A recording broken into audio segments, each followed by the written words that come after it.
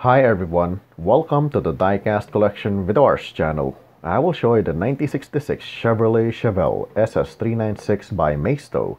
This model was released in 2015 as part of the special edition 1 over 24 scale series. Being a larger model in a 1 over 24 scale, this Chevrolet Chevelle has more details with interactive features and it looks more accurate than your smaller diecast models that we usually have. Here is a Hot Wheels model, the 1 over 64 scale uh, Hot Wheels model. And to compare with the other diecast brand like Tomica, see how small it is compared to the Chevrolet. The Majorette Porsche we compared here, it's a bit larger than the earlier ones, but still smaller than the Chevrolet Chevelle.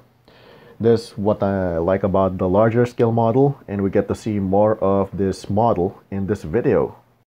I like how the Maisto team did with this model because they made it more real with the minimal paint designs but placed in the right places over the black body.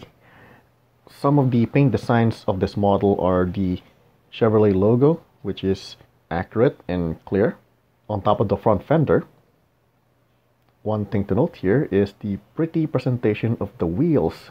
They are formed with these geometric shapes, painted with chrome, and even the tires are very detailed. It's not just some simple casting detail. It is a very well defined rim.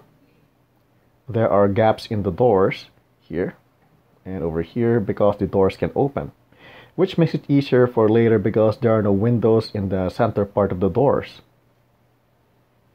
paint designs on the door handle and the keyhole.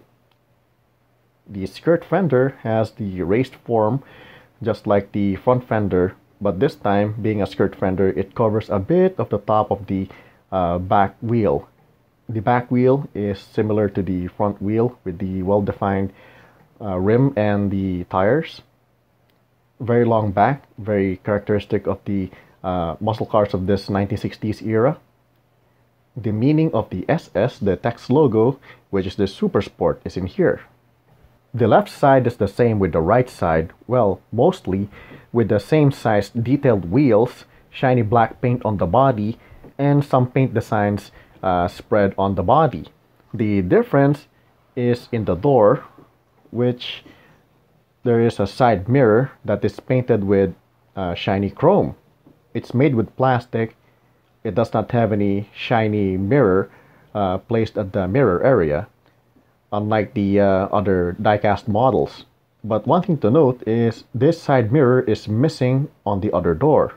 I researched on the web and some models of the era on the 1960s, I think uh, some cars do not have the uh, side mirror on the other door, on the right side. The front of the Chevelle is very detailed and has a lot of plastic parts. The lights have these dots in the middle that is really the connectors and they look like light bulbs from a distance. Under the lights with the light bulbs, in the bumper part is a slot for the signal light. It would have been great if some paint were applied on the slot for more realism. Black painted mesh pattern for the grille in the middle of the grill is the SS396 badge in chrome. Under the badge in the bumper area is the license plate. It looks like it was painted or tampoed, but it's not. It's made with some sort of thick cardboard sticker. Same lights here on the left side with the signal light slot at the bottom. The back is also detailed, but it has less plastic. The plastic parts starts with the brake lights combination of red and chrome plastic. The bumper is also plastic with the license plate uh, that is uh, similar to the uh, cardboard sticker applied in the middle, just like in the front. In the middle part, the paint designs are mostly in the logo in the center with a, hey, look at that, there's a keyhole pattern in the middle. Very cool. SS396, the model name of this car, their brake lights similar to the other side. The details on the top are mostly in the front and the back. In the front hood, there are rectangular shapes that is most likely for the air vents of the engine. there are even lines for the grill at the end. And on top of the grill are a pair of wipers that are part of the metal body, which is very cool. Nothing much on the roof. Some clear defined lines for the back trunk door. This is what I like about larger scale models. It is very easy to see the interior through the interactive features. Opening the doors is very easy, which reveals more of the interior, like the driver's wheel, which has a silver paint in the middle. The car seats have cushion details, a compartment in the middle, and looking down there in the center, some more details like the uh, transmission stick. In the door part, there's even some details on the door handle. Very nice. Most of the interior is painted with flat black to show some leather effect. Even the back seat has cushion details. The other side, opening the doors on the other side, shows more of the details of the interior. On the passenger side, we focus a bit. There you go. There's the glove compartment with some additional uh, details also on the door.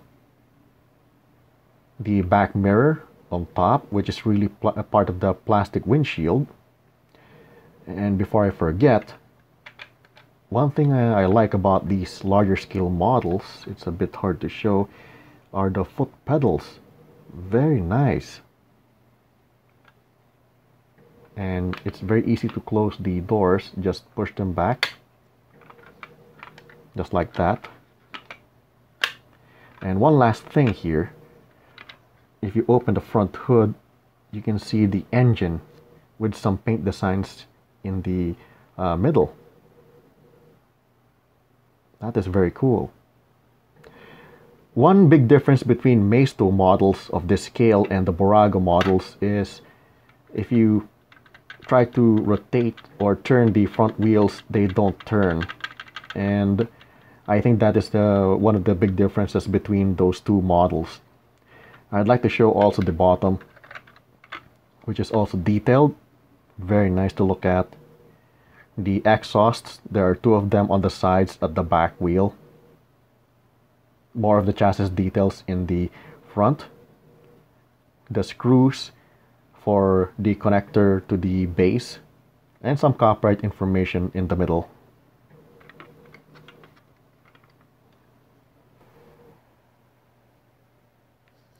This ends my video art on the 1966 Chevrolet Chevelle SS396 by Maisto. Thanks for watching, enjoy your collection, and see you with the next model.